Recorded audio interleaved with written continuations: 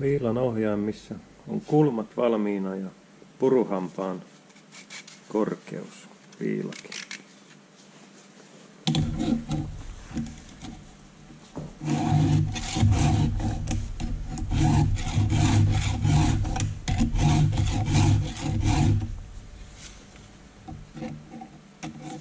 Toinen puolikin onnistuu helposti yhdellä istulla.